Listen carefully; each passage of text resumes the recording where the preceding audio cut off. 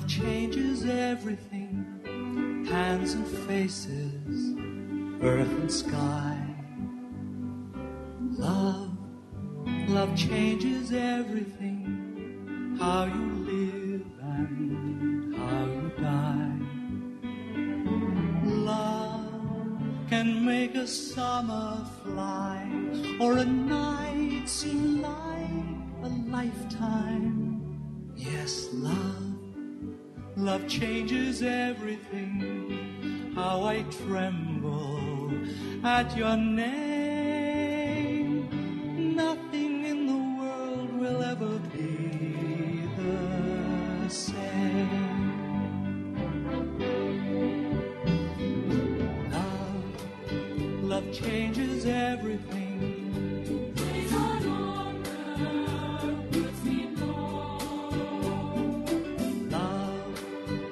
changes everything.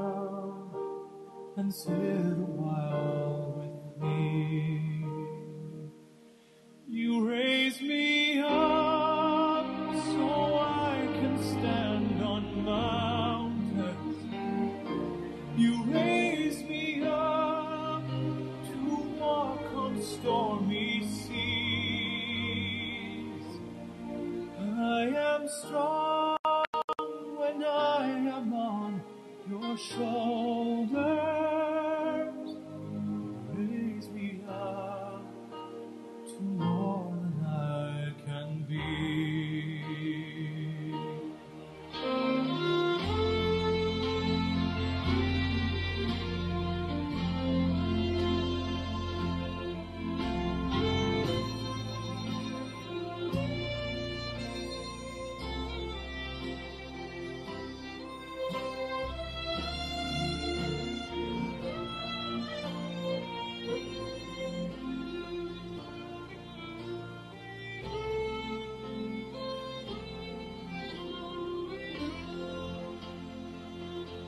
you raise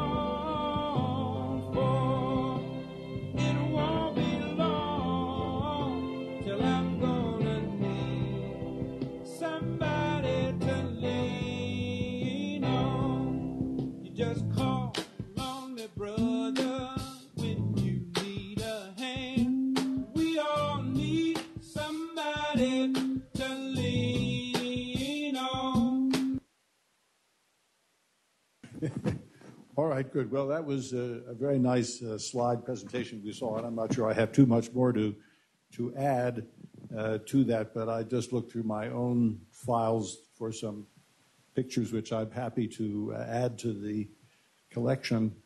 Um, this is from the uh, Irvine meeting in 2009, uh, which you saw some other pictures of, and I thought that it was particularly uh, nice here uh, in relation to Dr. DeFazio, who I guess you saw him as a younger man in one of the pictures, but here he is now. He is he is continuing to be extremely active in the field and is uh, working hard, particularly in Project Four.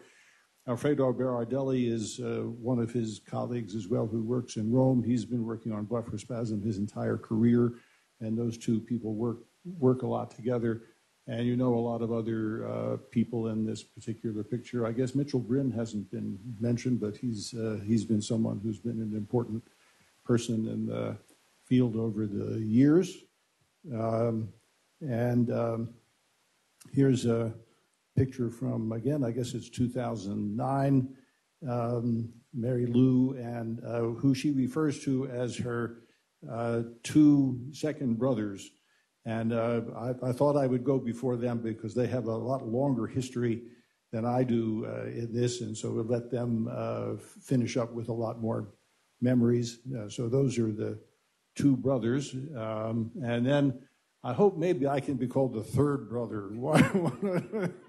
I'm not the, the second brothers, but here's another another event. This is from 20, 2012.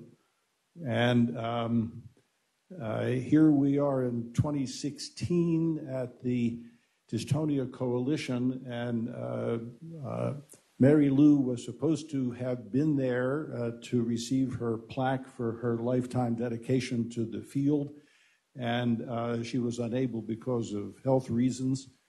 Um, she and I actually both came down with shingles of the right side of the face at the same time, uh, but hers was more than me. Um, so she was unable to, to come at that particular time, but here we are holding the plaque for her uh, that she eventually received. And this next picture is the way that Dr. Jankovic refers to think about it uh, in, terms of the way that we were uh, handing her handing her the plaque. Um, so uh, those are the those are the pictures I'd like to donate. In any event, um, Joe uh, was the chair of the medical advisory board and invited me to join in uh, 1989 is when I when I joined the medical advisory board, and um, uh, Mary Lou became the president in 1992, and then she asked me to be the chair of the medical advisory board in 1993. So uh, I uh, shortly came on the medical. I uh, was only a short time on, and then she had me join, and uh, then I became the chair, and very often, and she has really guided uh, all the activities of the BEBRF, including the Medical Advisory Board, over that time. We have had a great pleasure in going through uh, all the different grants over the years. Uh, the BEBRF has been the prime supporter of research in the field, getting people started, and I think it has been uh, terrific and I've uh, really enjoyed the, work. And um, Mary Lou has really guided all these activities. In the very beginning, her, her mom was still there, Mattie Lou. Uh, and I, uh, we, we also organized a number of brainstorming sessions. You really heard about uh, those also. And I remember Mattie Lou coming to the first one she was having a little bit of trouble walking, and that first one was in the winter, and we had to guide her over some ice. But I still remember her uh, being able to uh, come to all the different activities that we had at that time. So, um, uh, Mary Lou and I have uh, frequently corresponded um, by telephone or by email, um, perhaps uh, several times a month about different uh, issues. She's uh, been very alert to everything that goes on in the particular society and has guided it well. She's a very firm leader. I have occasionally tried to quit and have not been allowed to do that, uh, but I have to follow orders. I have to do everything that she says, and I've, uh, and I've been actually pleased to be able to do that uh, over the time. Um, it has been fun to watch the evolution of the organization uh, during that uh, during that period. I uh, noted um, a couple of years ago that I thought that the medical advisory board was aging, and I thought we needed some uh, new blood. And I'm very pleased that Brian has joined, and I think that that will uh, be a nice evolution in the long run. Uh, we need some more younger folks as, as well to uh, join the medical advisory board so we can keep the organization going strong. So, um, as you uh, heard, we are giving this particular plaque to Mary Lou. I, I think the organization has uh, really profited enormously from her help, and uh, I, I, think that this plaque was just a small part of it. Um, uh, she has guided the organization through most of its uh, career, most of its time, and uh, I think that she will continue to give good advice and we, uh, we hope that uh, she will be doing that. So thank you, Mary Lou, for all of the great things that you have done.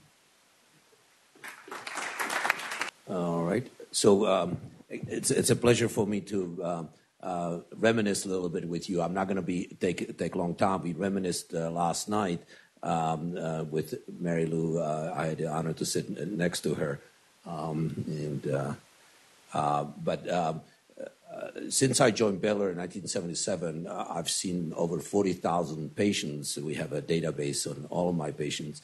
And I must say, none of my 40,000 patients had as much impact on me as Mary Lou. Um, I uh, first met her in 1979 uh, when she was referred to me by Dr. Lewis, uh, who's an ophthalmologist, uh, because he correctly recognized that uh, she does not have an ophthalmological problem, but has a neurological problem, namely blepharospasm. And uh, that was my first encounter with this remarkable woman. she obviously at that time wanted to learn more about blepharospasm and wanted to do as much as she could to help other patients with blepharospasm.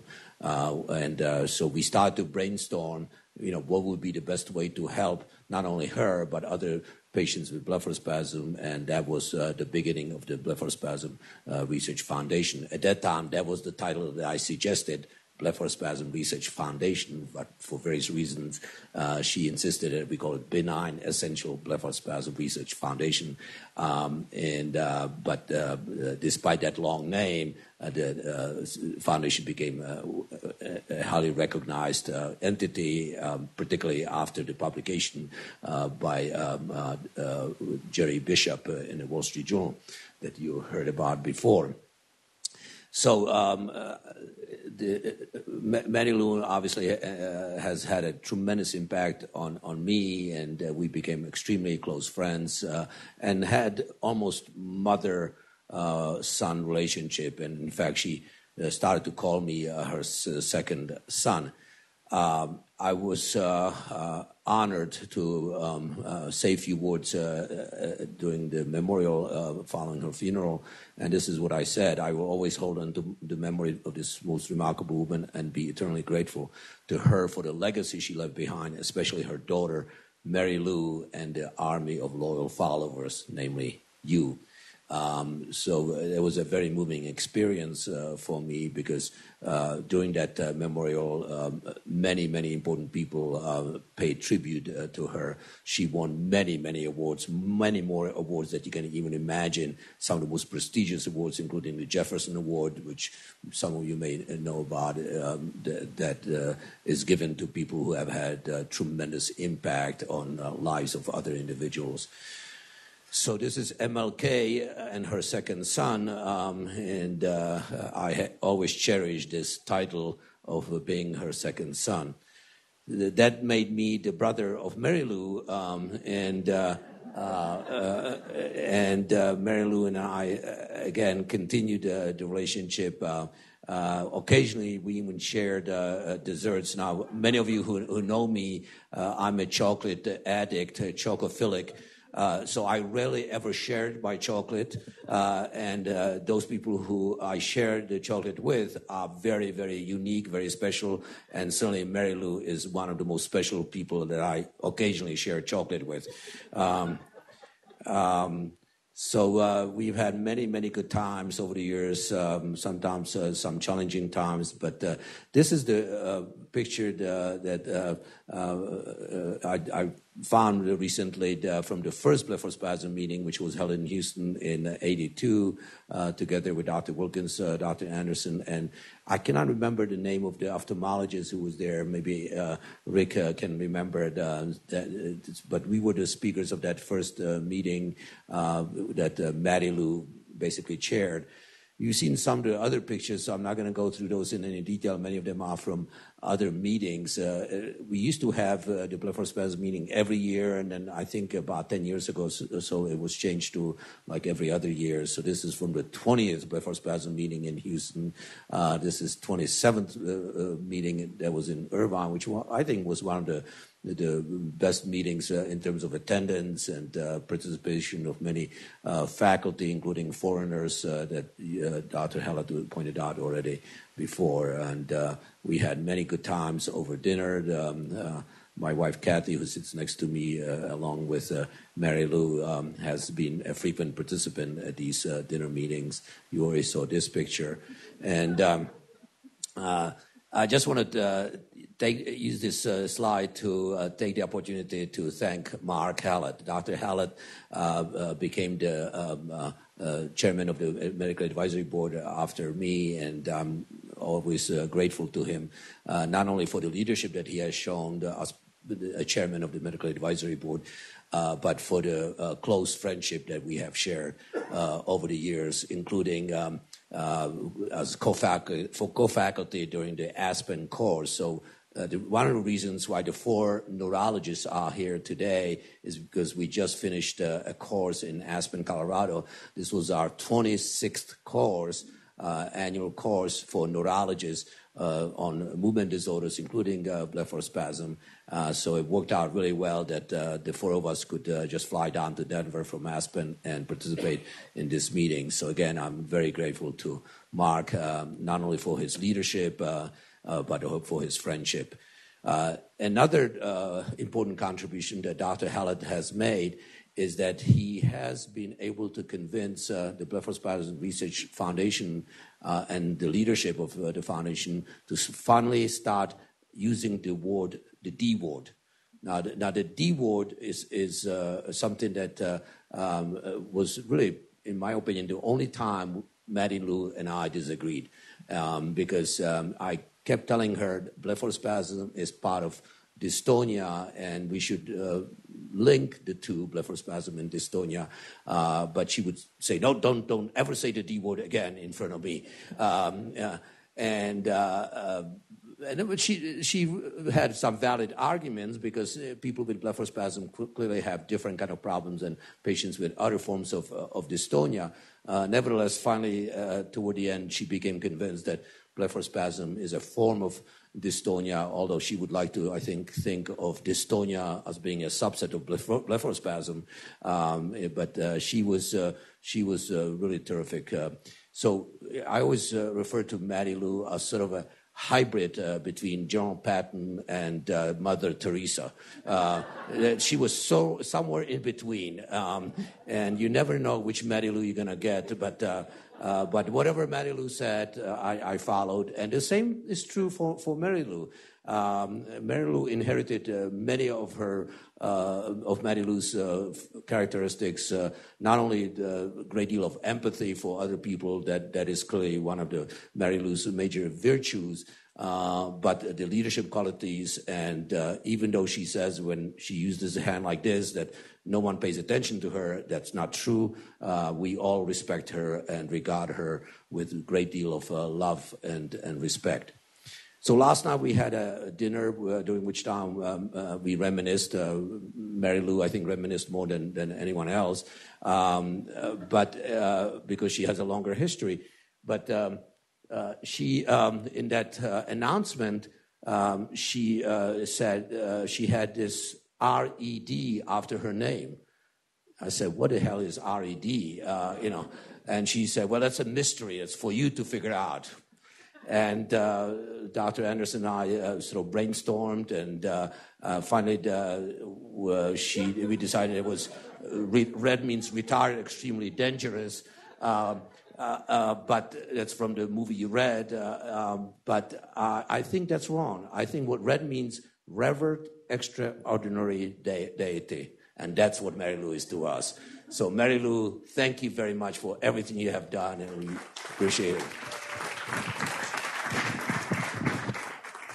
That's great. And let's um, now I'd like to hear from Dr. Anderson, who uh, was there at the first BEBRF meeting and has been uh, part of the organization for a long time. Well, every everybody knows how I feel about Mattie Lou, and I always said, and I love my mother to death, and women always control my life. I don't like guys trying to control me. So, uh, uh, Mattie Lou, my mother, my wife are probably the only people I was afraid of until Mary Lou took over. And uh, they're women I'm afraid of. And uh, she's tried to control me. I was called the black sheep of the family, and she's given me a whole list of things I can't say and couldn't show. And since all my slides were X rated of our pictures of my sister, which I guess would be considered incest. Some of the pictures that I showed them, I better not show any of those. But, but uh, everybody knows this organization wouldn't be here without these two ladies. And uh, they gave of their time, of their money, of their health to this organization.